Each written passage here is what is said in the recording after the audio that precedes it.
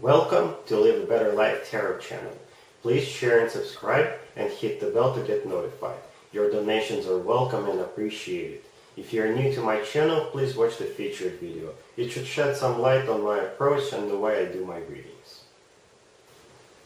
Check out the Soulful Revolution channel. Mary Jo, the owner of that channel, was my inspiration to start this channel. I would have never had the courage to do it if it wasn't for her. The video you're about to watch cannot and will not resonate with everybody. However, if it does, I hope it helps you live a better life one way or the other. Let's begin. Hi Leo, this is your weekly March 8th through the 14th tarot reading. Let's talk about your work or business situation first. We've got the Seven of Cups, the Ace of Swords, the Five of Swords, and the Chariot on the bottom of the deck. You could be dealing with a Cancer. Um, this is a very strong read in terms of uh, some sort of a breakthrough. I think somebody's either trying to feed you bullshit or trying to confuse you, and you see right through it. And uh, even more than just seeing through it, you're getting into some sort of a fight. And uh, we have the Five of Swords here on the table. The Five of Swords is a card of uh, win at any cost. Um, it could be related to some kind of a business trip. Um, one phrase that comes to mind when I look at this spread is you're dividing and conquering. Very strong, very cutthroat, very uh, fast forward moving week for you. Leo, if you're in an established love relationship such as marriage or long-term partnership, this spread is for you. We've got the Knight of Swords, the Four of Wands, the Nine of Wands, clarified by Three of Wands, and the King of Wands. You could be dealing with a younger air sign, Gemini, Libra, or Aquarius, or a fire sign, Aries, another Leo, or Sagittarius. I think the King of Wands in this spread is you, male or female, doesn't really matter.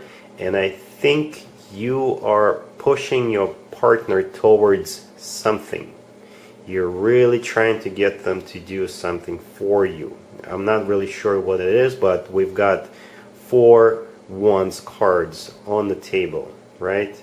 And a Knight of Swords. A Knight of Swords is either that air sign or this is uh, you uh, trying to persuade your partner to do something. It could be incoming news. It could be you communicating with your partner about something and you're being very swift, very quick about it, and they're a little bit um, not sure.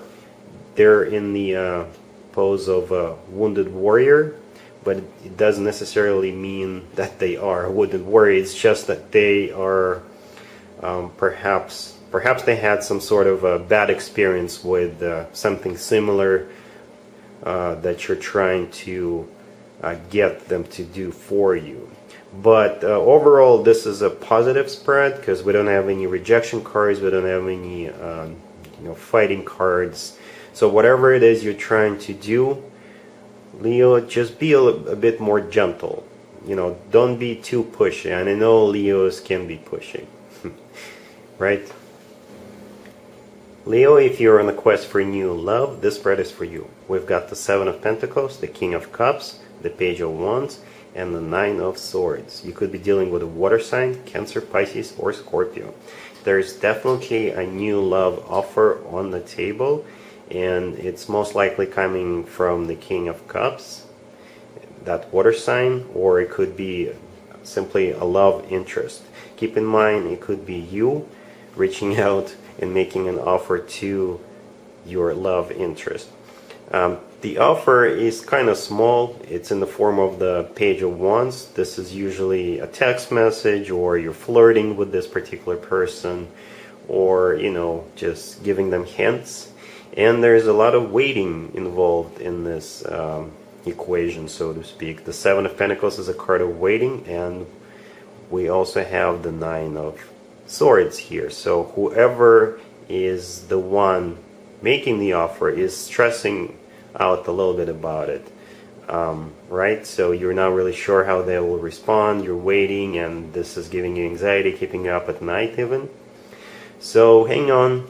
I don't know if the uh, offer will be accepted this week, but there is definitely some sort of action going on between you and the other party.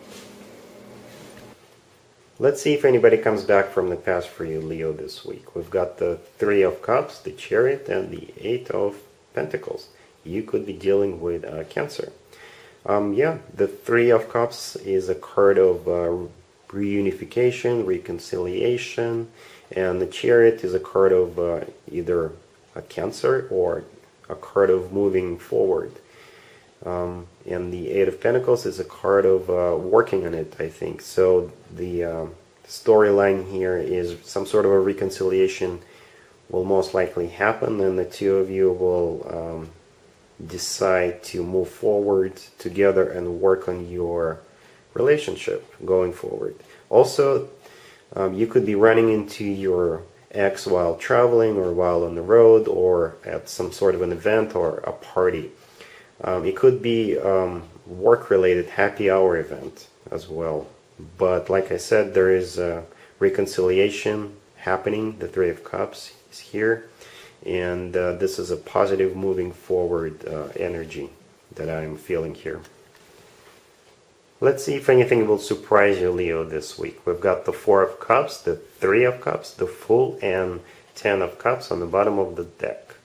The Four of Cups is a card of a rejection, but I think this is the energy of the past. So if there was some kind of a rejection in the past, then this week it'll uh, turn around. We've got the Three of Cups, which is a card of uh, reconciliation, a card of a reunion, and the Fool, which is a card of a new beginning or taking a leap of faith. And the Ten of Cups on the bottom of the deck, it's one of the most uh, positive and beautiful cards when it comes to uh, being in a happy relationship. So I definitely see an improving trend. Whatever rejection happened in the past, this week, uh, whoever was on the receiving end will most likely change their mind, and uh, the two of you will take a leap of faith, which will ultimately lead to a happy relationship.